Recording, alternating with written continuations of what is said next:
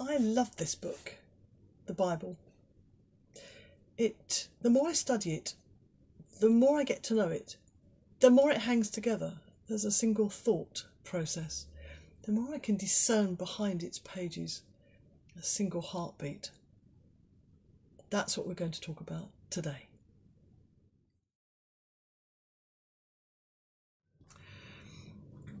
Welcome to this last Sunday in Trinity, otherwise known as Bible Sunday. It's strange, isn't it? Every Sunday is Bible Sunday, but this particular Sunday is designated Bible Sunday. So we're going to think about the Bible. Here's the reading. It's from Paul's second letter to Timothy and chapter 3, beginning at verse 14. But you must remain faithful to the things you have been taught. You know they're true for you know you can trust those who taught you. You have been taught the Holy Scriptures from childhood, and they have given you the wisdom to receive the salvation that comes by trusting in Christ Jesus. All Scripture is inspired by God and is useful to teach us what is true and to make us realize what is wrong in our lives. It corrects us when we are wrong and teaches us to do what is right. God uses it to prepare and equip his people to do every good work. I solemnly urge you, in the presence of God and Christ Jesus, who will some day judge the living and the dead when he appears to set up his kingdom. Preach the word of God. Be prepared whether the time is favourable or not. Patiently correct, rebuke, and encourage your people with good teaching. For a time is coming when people will no longer listen to sound and wholesome teaching.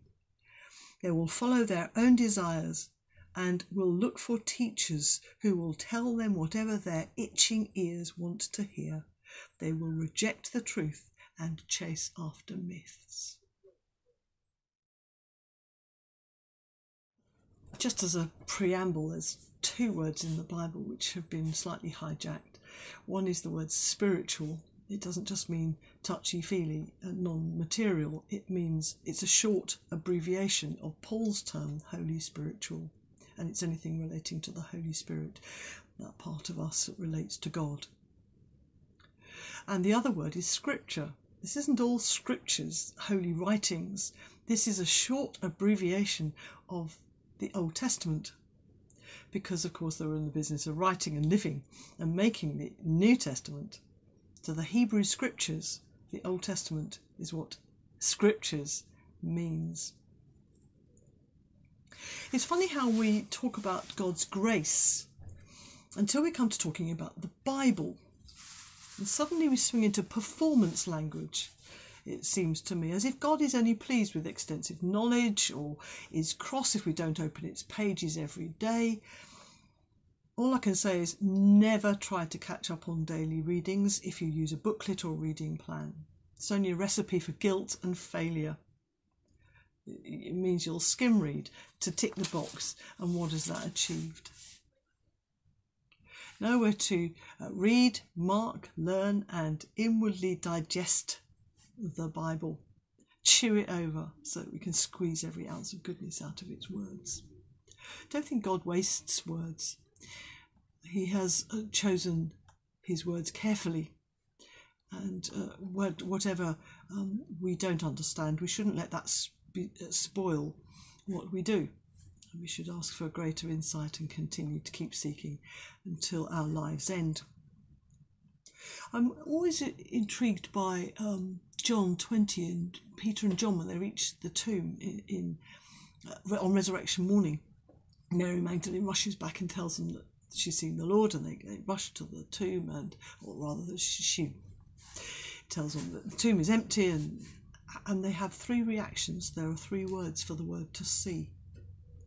There's John who gets to the tomb first, and he glances, and that's a Greek word blepo. And then Peter runs in, and he notices the detail, and you'll see the list of things that he notices. And that's again a different uh, theoreo, that's another Greek word. And then John goes in again and he perceives the significance of what he sees. What he sees leads him into faith. which is to trust and to lean on, and therefore to obey whatever he understands. Now, I think it's a bit like that with the Bible. You know, we can come at it and we can glance at it, or we can even notice detail. But it's when we perceive its significance and significance for our lives that it makes a difference. That's its point. And the truth is, if we shortchange the Bible in our lives, we're the losers, not God. The Bible is not a toolbox nor a rule book, and there is no exam to see how much history you know or even to check if you can pinpoint Paul's letter to Titus without looking up looking it up in the index. We are main we are the losers though, if we give it no attention or respect in our lives. And by respect, I I, I don't mean pride of place on the bookshelf or by the side of the bed, closed.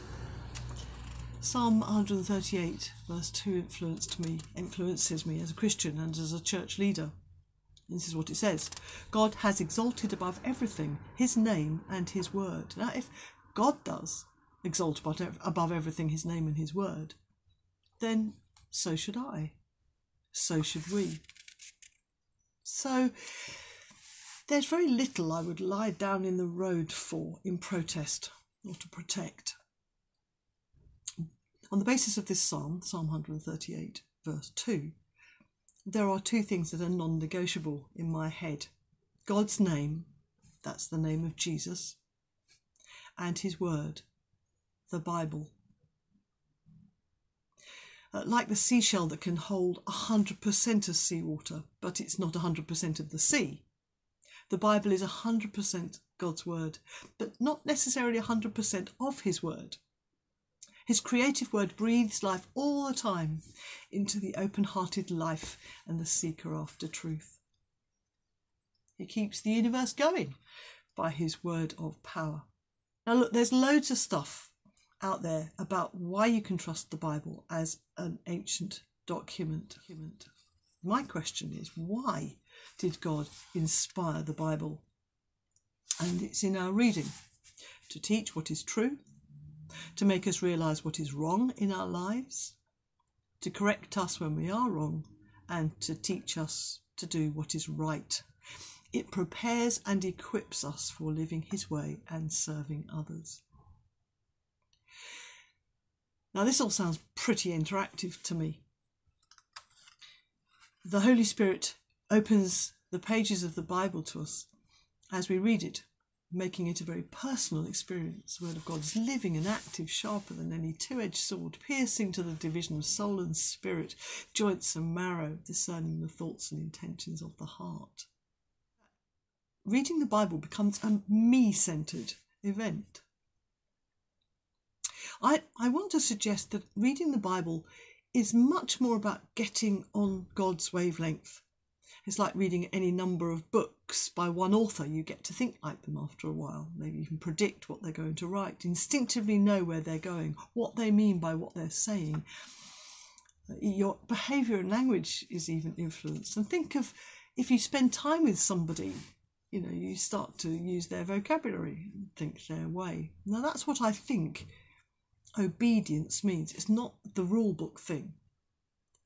The Bible claims to be God breathed. He breathed into the authors that wrote it and through them and their uniqueness and their understanding of their time into your life and mine. I do struggle with people who find what are called proof texts to argue a point, usually their own point of view. It, it's not so much about single verses that say something specific, although of course it is, it's much more about knowing the God who set everything in motion and has a purpose and plan for the world, knows how we all work and how the universe works and how it works the best. And obedience becomes just a matter of refusing to argue with him, going his way with his help, and having a heart responsive to his. It's choosing his way, not mine. Actually, the Bible does include a lot of stuff which is very easy to understand. It's just not very easy to put into practice. But we're not asked to do it alone with our nails in clenched uh, into digging into our hands. We have the Holy Spirit to help us obey what we understand, what He shows us. The Bible is not just a book to be read and revered, but it's a workbook, it's a game changer, an attitude breaker, a mind renewer, a life transformer. There are bits we find harder to understand more than others, and that's where study comes in. Ask the questions, dig into the books, browse the internet. Oh, be careful with that one because there are very odd viewpoints out there. And all the time be asking, what did this say then? What is it saying now? Relevant. What is it saying to me? And there are so many ways into study. But it's important to ask what did it say then? because God is its author. Otherwise, you'll go for some personal tangent and then make a doctrine of it for everybody, and that's not the point either. We do have to remember that uh, we're crossing continents and cultures and centuries when we open the pages of the Bible. And that's why we study scholars who understand when the Bible was written. It's an accumulative process, like all learning. With one exception to normal learning, the Bible only yields its secrets to those who want to know and to go its way. It stays closed to the arrogant and to the scoffer.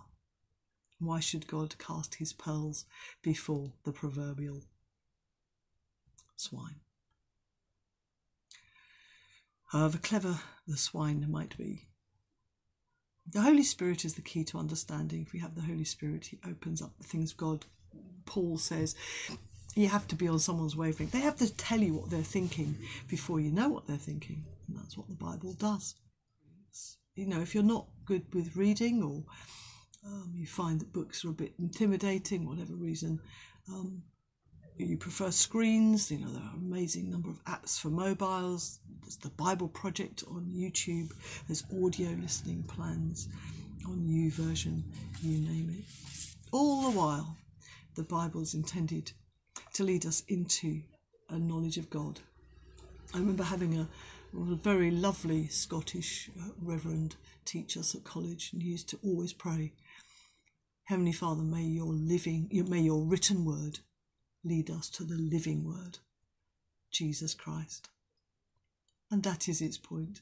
Everything in the Bible points to a person, and that's Jesus. And the Holy Spirit, who inspired it all over the centuries, millennia ago, is by your side to help connect it with you today.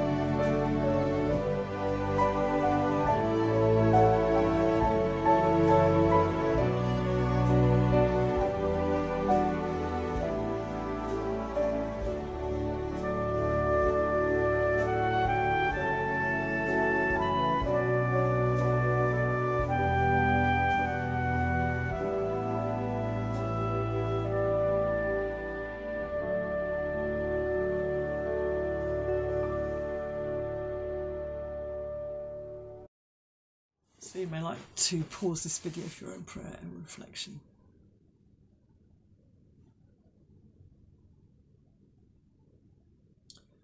Merciful God, teach us to be faithful in change and uncertainty, that trusting in your word and obeying your will, we may enter the unfailing joy of Jesus Christ our Lord.